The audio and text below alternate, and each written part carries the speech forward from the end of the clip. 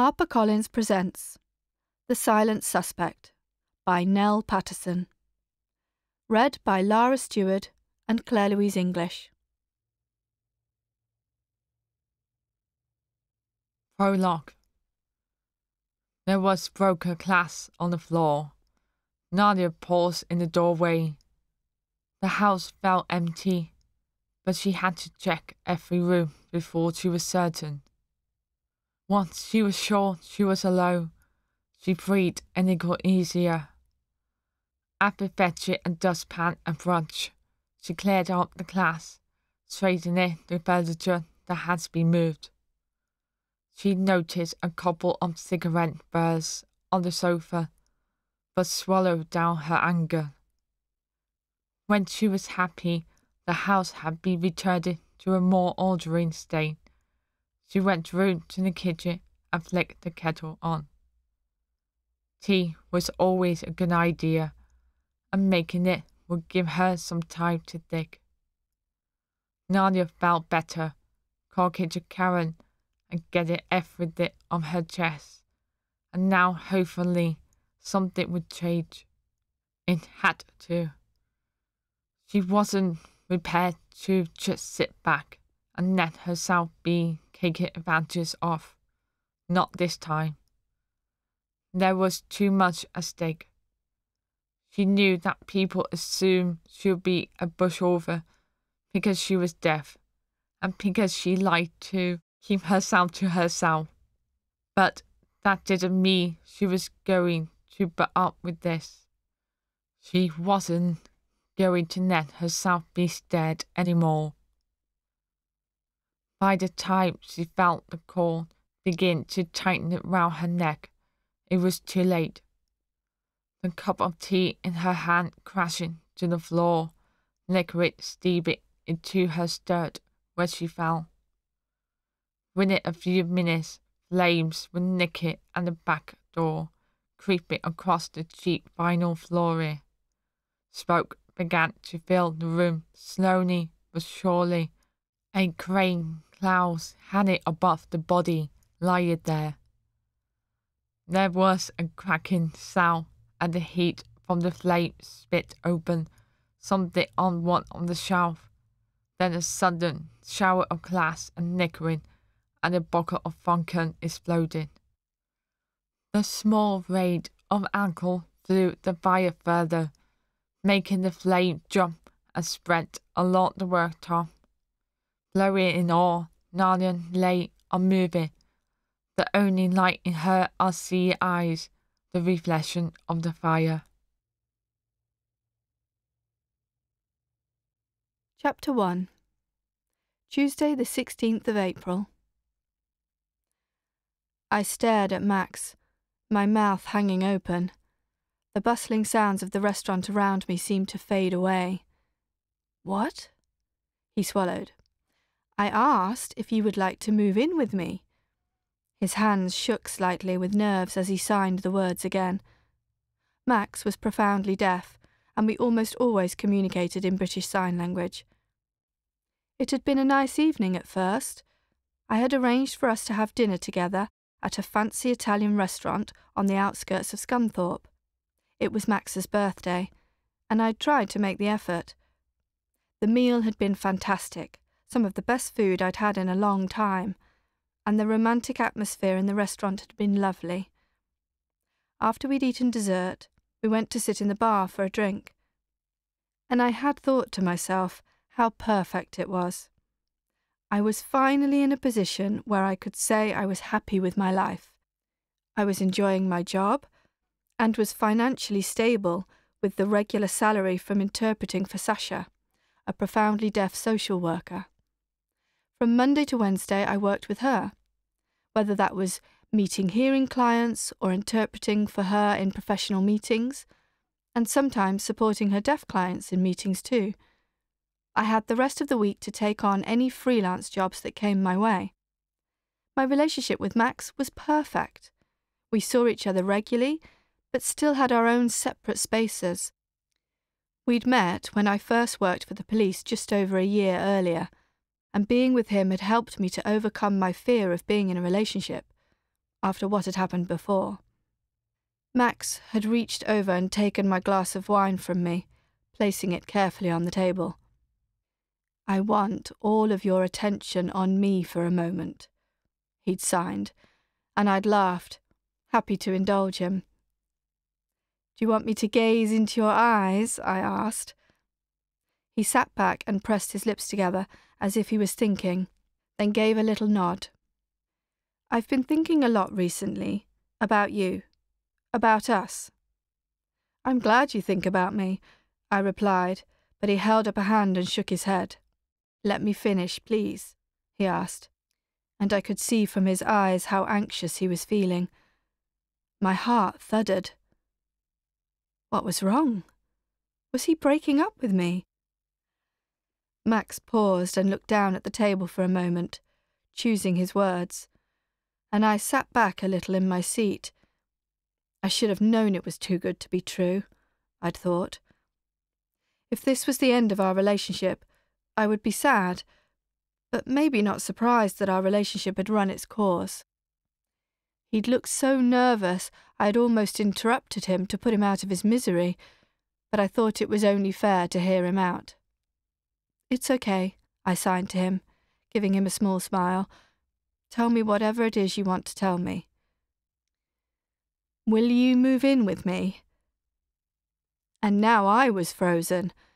There was a long pause as I took it in and tried to force my train of thought onto a completely different track. Where had this come from? Was it a whim? Or had he been building up to asking me for a while? Thinking back, I couldn't recall any signs that he wanted to move our relationship forward. He'd given me a key to his flat recently, but I thought that was just to make things more convenient not so I could start moving my stuff in. Had I been completely naive?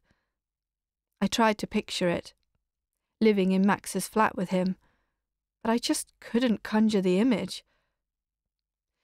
I was trying to think of a reply when my phone rang, and I seized the interruption like a life raft. The name that popped up on the screen wasn't one I was expecting. Lukas Novak, one of Sasha's clients. Sasha had asked me to interpret for him at his regular meetings with the addiction support team, so I'd met him quite a few times. He was one of those small men who compensated for their size with an excess of charming personality, and I got the feeling his counselor looked forward to the banter in their weekly meetings. But why was he calling me on a Tuesday evening? I'm sorry, I need to take this, I told Max trying to ignore his look of irritation. I got up and moved away from where we'd been sitting into the entrance of the restaurant. As soon as I answered the video call, I could see something was wrong. Lukas looked frantic, and his signing was shaky and erratic. He was outside somewhere. I could see street lights and a couple of parked cars in the background. And he was obviously moving. Lukas, stay still, I signed. I can't understand you. He stopped moving and the picture became a little clearer. Paige, I need your help. Call 999 for me, please. What's happened? I asked. Don't you have the emergency text number? I haven't set it up, please. Paige, my house is on fire and I don't know where Nadia is. She might be inside. My screen went blank as Lukas hung up. I tried to process what he'd just told me, and quickly called the fire brigade and gave them his address, before trying to call Lukas back. No answer. Looking back through the glass door into the bar, I saw Max watching me. The restaurant was only a few minutes from Lukas's house. I couldn't not help. I knew Max would be cross, but I couldn't stay there, not when I knew one of Sasha's clients was in trouble. She was in Birmingham for a three day training course and wouldn't be back until tomorrow. And Lukas would need someone to interpret for him with the emergency services. I went back through to the bar, and my heart sank at the look of nervous anticipation on Max's face. I'm really sorry, it's an emergency. I have to go. Seriously? Paige, it's my birthday. I know, but this can't wait. I'll call you as soon as I get a chance. Max looked like he didn't believe me, but I didn't have time to explain or argue, so I picked up my bag and left. The heat from the blaze took my breath away, and I took a couple of steps back. I hadn't expected the fire to be this bad. Whatever I'd been picturing in my mind, it had been minor. What I saw before me was so much worse than I had envisioned, and fear gripped my heart as I tried to get closer to the house. There was no sign of Lukas on the street outside, or in the alleyway between this and the neighbouring house. He'd been here when he called me, so where had he gone? I hoped he'd gone to a neighbour for help and hadn't done anything stupid. I dashed up the path and put my hand on the front door, but pulled it away again sharply. The paint was starting to blister, it was so hot, and I knew I couldn't risk opening it. Moving sideways, I tried to look through the window at the front of the house to see if anyone was inside but all I could see was the flickering of the flames through a sea of dark smoke. Shouting would do no good, even if the people in the house could hear. I hadn't realized a fire would be so noisy. There was a low roar from the fire itself, as well as a myriad of cracking and thumping sounds as items inside the house were engulfed by it.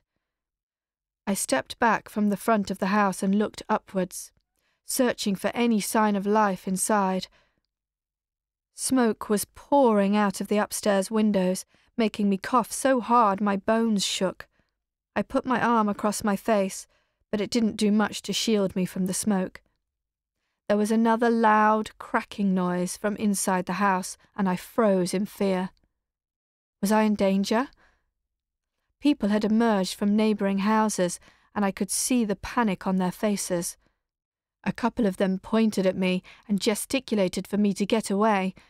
I knew they were right, but I needed to be able to tell the fire brigade if someone was inside.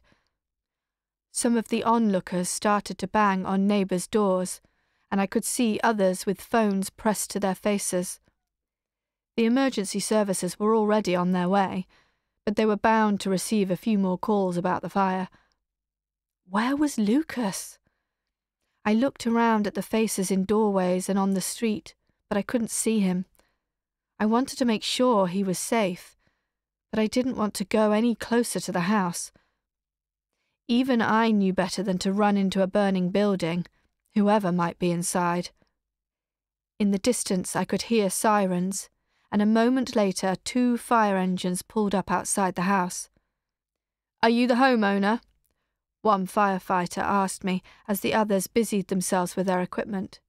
No, but I called you. Is anyone inside? My mouth gaped for a moment as I panicked. Had Lukas gone inside to look for Nadia? Fear gripped me as I imagined how desperate someone would have to be to run into a burning building. Uh, I don't know. Maybe, I replied, angry with myself for not being able to provide a definite answer. A man called Lukas lives here, and his wife, Nadia. They're both profoundly deaf. Okay, anyone else? I nodded. Sometimes his son, Marius, I think. He's 16, but I don't know if he'll be here or at his mum's. I can probably find out, though. The man turned back to his colleagues, and they huddled round to hear what I'd just told him. Looking back at the house, another ripple of fear went through me. If anyone was inside, I didn't see how they could survive that. A police car and an ambulance pulled up, and I looked over, wondering if I'd know the occupants from any previous cases I'd worked. But two unfamiliar, uniformed officers stepped out. I should have realised CID wouldn't have been there, not until they knew if the fire had been started deliberately it had probably been an electrical fire, I thought. A lot of these older council houses had a backlog of maintenance issues. One of the PCs approached me. You're going to have to move back, she said, with a frown. It's not safe. Sorry, I replied. I thought I could be useful. How? she asked, unable to keep the doubt from her face. I'm Paige Northwood, I told her, digging my ID out of my pocket. I'm a British Sign Language interpreter. I had a call. We hope you enjoyed this preview. To continue listening to this audiobook on Google Play Books, use the link in the video description.